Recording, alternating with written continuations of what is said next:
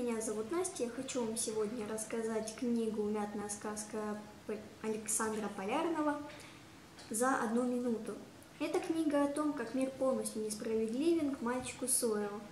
До 13 лет мальчик жил в детском доме. Позже его усыновляет милая пара. Первый день в школе ему кажется, что все пошло ввысь, все наладилось, он завел новых друзей, наладил общение – но позже ему сообщают о том, что его родители умирают в автокатастрофе. Когда мальчик стал чуть постарше, он влюбляется в девушку Зою, в которой находит свой смысл жизни. Он хочет завести с ней семью и прожить до конца жизни. Но девушка умирает. Когда парень полностью вырос, он усыновляет мальчика из детского дома. Но этот мальчик все равно уезжает оставив Суэра абсолютно одного.